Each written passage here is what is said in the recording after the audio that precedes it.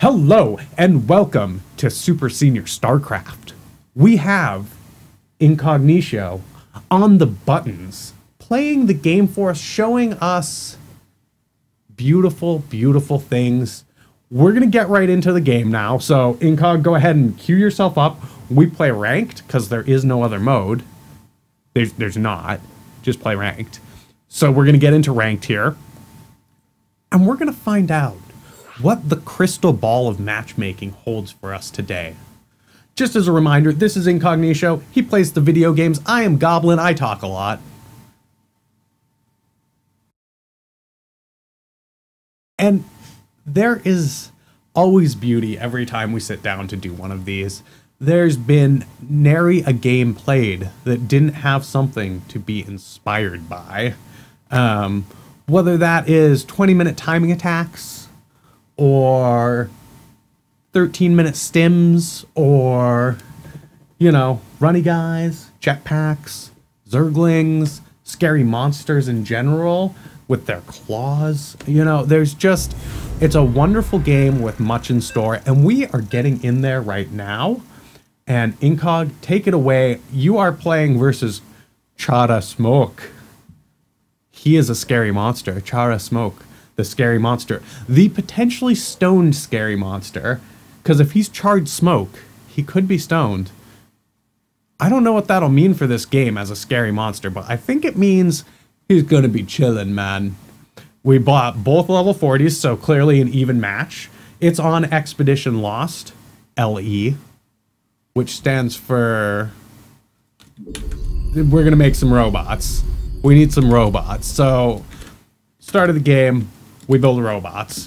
We get them going. Chara Smoke, gonna respond to good luck, have fun, I believe, immediately. See, because he's respectful. He's Smoke. And Smoke, what else is Smoke? Smoke is elusive. It's hard to capture. So, I'm gonna guess Chara Smoke is going to expand out into weird locations. We could see a third or even a second base in a not standard place because he is Smoke. He's hard to contain. We're gonna get food. We need food. Food feeds your humans and oils your robots. Minerals. You gotta get food. Continuing to build some more SCVs, we'll get a scout happening soon and find out what our smoke-like scary monster could be up to. Can Incognito grasp the smoke? No. But can he contain the smoke? Also probably no but we'll wish him the best in doing that, as he is our hometown local hero. Incog going real standard here, taking his barracks first. Just gonna, you know, build some more robots, get the shooty guys, because you gotta pew pew the things. Um, another good question to ask when you sit down and see Incognito plays is how many piles of rocks will he kill? I'm gonna go ahead and put a bet down now and say he's gonna kill at least two piles of rocks. Because Incognito loves to kill rocks. You see him getting in there nice and early with his SCV for the scout, mining some of those minerals to help get a deficit of minerals for the scary monster, and just going ahead and continuing on around, taking a peek, see, seeing an early expansion as expected from a, a scary monster player. He's taking his gas now, so getting going on the gas first wins game strategy. Um, well, not gas first, but you know, the more gas you have, the more likely to win the game. Um, our scary monster player, not really too concerned about him taking a little stroll through the base. Doesn't appear to have any queens up yet. Not really doing much about the, the little robot running through, just hanging out in there. Well, that's nice.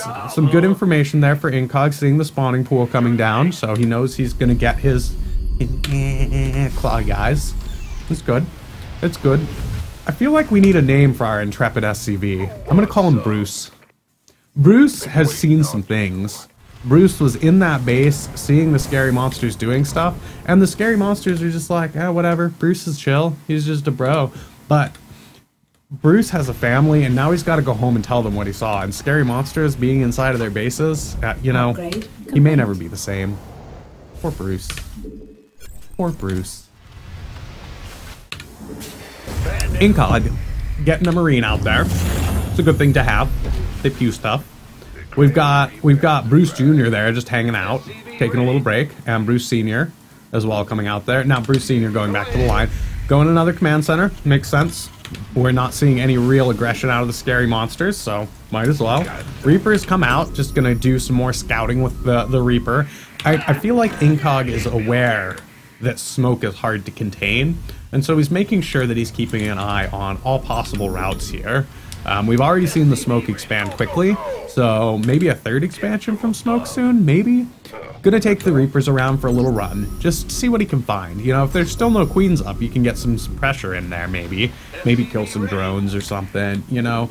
They're like, biting the things. I think the drones bite the minerals, and that's how they get them. I'm pretty sure that's what they're doing. They just sort of bite them. So, Smoke bringing in his Overlord there, just taking a peeksy.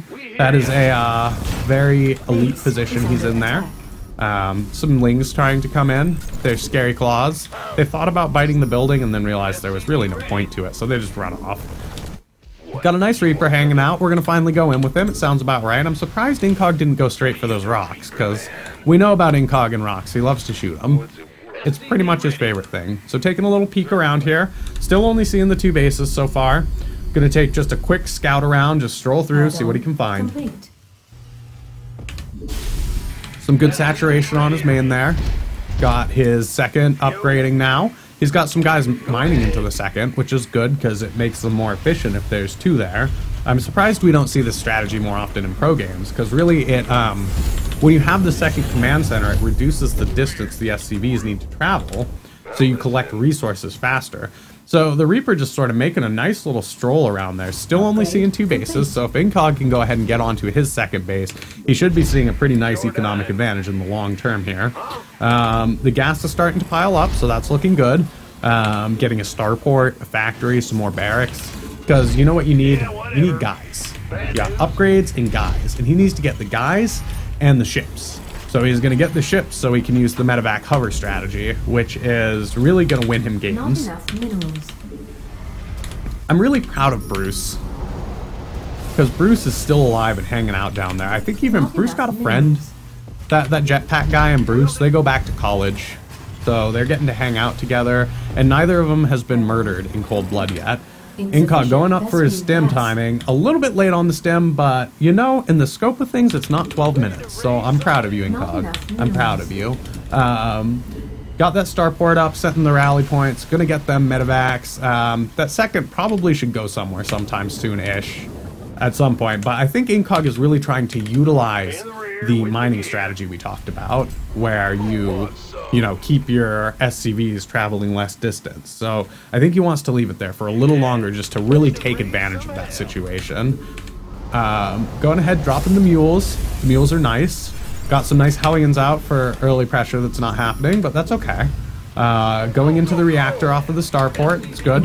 Uh, I'm guessing that probably the Hellions are just intended for uh, transitioning into Hellbats now. A good thing to have against the scary monsters, because you know what kills scary monsters? Fire. It also kills other stuff. Getting supply blocked, that's okay. Getting the supply rocking out right now. Not a lot of minerals, so the supply block not hurting him too badly, and he's building up all of the uh, add-ons to his buildings anyways. So he's going to get better units out of those buildings. He's got an armory already, so he can get the Hellbats. He can get additional upgrades when he's ready for them. Looking like it could be a pretty pretty good 10-minute timing attack coming in from Incog here. That stim should be done right around then. If no, the stim's already done. Oh, the stim never started. Whoopsie daisies. That gas wins game strategies are being forgotten. Two gas is a little bit hard to continue support off of, but look at him pull in those resources from that mineral patch. They are just swarming in. Go ahead, taking a second now. A good thing to do. Naturals are nice, and looks like he's going to go in for the 10 minute timing attack, I think, here, which makes sense.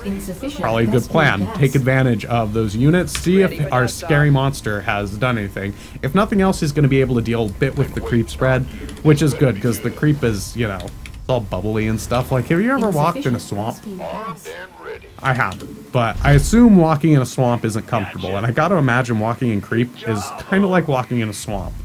Not really what you're looking to do. Incog gonna go ahead and saturate up the second base with some of the guys from the first base. Makes sense. Dropping some mules, get those minerals. He's banking a few here, but he's got stuff that he's doing, uh, including more supply. Which, as mentioned, supply block not so good, especially when you've actually got minerals in this case. But giving a good opportunity to build up those uh, add-ons to the buildings, get some more of the like grenady guys, or like some more of the like you know upgrades, or whatever you're looking for. It's still looking like our scary monster is mostly just focused on being smoked, but bringing in an attack now. Early mutalisks coming out from the scary monsters. Those are the fly guys right there that are about to wreck the supply line. Not a good situation. Incog not really seeing that spire early enough, I think. Um, but going ahead, getting his towers up now. Um, sending some Marines in there to bait, and looks like gonna just roll in with a counterattack here, which makes a lot of sense when you've got fly things in your base. Sometimes the best thing you can do is just go in for the counterattack. You know, show him who's boss. Be like, you can't attack me. I'll kill your base. Dropping the Mule Hammer, putting down some more towers. Mutalisks are just sort of hanging out there and doing some, some business. Just doing some business, but doesn't look like our smoky opponent here has much at home. So he's gone all into flying units because smoke is airbound. So if you gotta to represent who he is, he needs to have airbound units because that's what he does, and he has a lot of mutalisks, a whole metric ton of mutalisks. So we're going to need to see some nice anti-air support, which Hellbats are not going to do. They're going to just get blown up here. But of course, Incog can't just run away at this point. They're just going to die on the way back. So makes sense. Uh, Got to see some supply coming up here because the supply lines were very, very wrecked by those scary monsters in the air. This is a very high quality tactic, I think, actually. You know, you go in and you kill the supply lines. It's uh, it's as old as the army itself. If you interrupt the supply lines, you know, think about Napoleon. What did Napoleon end? Supply lines. So if you can get in the way of their supply lines, kill off those depots, all of a sudden, you're winning games. You're making an omelet. Whatever you might want. Incog going for some more gas, sitting on 500 so far, but really needs to get up into that 1,000 plus marker to really have a chance in this game because it wins games. Our elusive and effusive smoke opponent is now being elusive in all sorts of ways in that he is not anywhere to be seen. Um, he's up to the three bases, which is good to see. Incog going towards his third as well. I would expect our smoky opponent to be taking his fourth here, but also as expected, he's both elusive and taking his sweet time. Because, you know, there's the mutalisks coming back in again, but they're really starting to take some damage from those towers, which is not so good for them. Um, Incog successfully identifying that this man wants to take out his supply. That is like this man's goal in life is to kill supply. And I respect that. But Incog recognizing that, putting some towers into his supply, um, still not saving it, but you know it was a good thought. Um, these things, I feel like, I feel like our smoky opponent has been hurt by supply depots in the past, and so now he has a vendetta against them. I think our Chara smoke opponent hates supply depots like Incog hates rocks. So I feel like he's basically won this game at this point because he killed the supply depots. And if you kill the supply depots, you win. I think. Yeah. Incog gonna extra tower up his supply line this time around because, you know, two towers wasn't enough. Um, I'm curious to see if Chara Smoke is going to go with a tech switch of any form. I'm kind of feeling that he's just going to build mutalisks. I feel like that's sort of the strategy he's running under right now is, can you beat me if I have 50 mutalisks? Maybe. But really, who's the winner if I have 50 mutalisks? I, you know? I think it's the person who wins the game still, but Char Smoke, you may be right. It may be all about killing those supply depots and building those mutalisks. So a nice four towers up there now, so that should help to keep them safe. Upgrading the third, trying to saturate up that second, get everything going nice, because you got to get the money. Even if you're banking a thousand minerals, you got to get the money you can't spend the money if you don't have the money, which is why banking those minerals is really a good maneuver. Incog just going into heavy production mode here. I'm really interested to see what we have got coming. The Baneling Mutalisk push is going in here. I'm not sure. It looks like this could be some critical damage happening here. This is not looking pleasant. Um, oh, but there comes the Thor. It is getting wrecked. It is just getting wrecked. That is a lot of Mutalisks. A whole lot of Mutalisks. Incog just trying to spam out, spam out his pew pewy guys. Because one of the best ways to deal with fly guys is with pew pew guys. They're nice, cheap, overpowered units. You gotta have the overpowered units to win the game. That is a lot of Mutalisks, though, taking out that tower even under repairs. I'm surprised he didn't go for the supply line, though. I really thought that's where the attack would come at, seeing how past behavior has gone. The plus side is Incog does have another orbital command to land, so he can take another base. Gotta find an answer for those Mutalisks, though. Not seeing any Vikings or anything coming out, so just gonna try and handle them with Marines, it looks like. Your forces are under attack. The rocks. It's time for the rocks.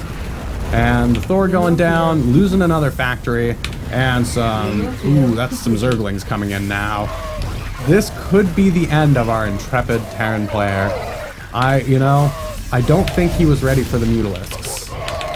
He, he knew about them, but still, it's hard to deal with that many Is Mutalisks. Especially the Mutalisk Baneling combination. Those. Banelings really did work on the Hellbats, which really, I guess, didn't do him a whole lot of good actually, but still, ooh. And they're still taking out that stuff, getting that Dirtling Mule going again. Our Intrepid Terran is on his last legs here, down to 34 supply. Lots of Mutalisks coming in, mashing that button, wanting those Marines, but I just don't think they're going to happen.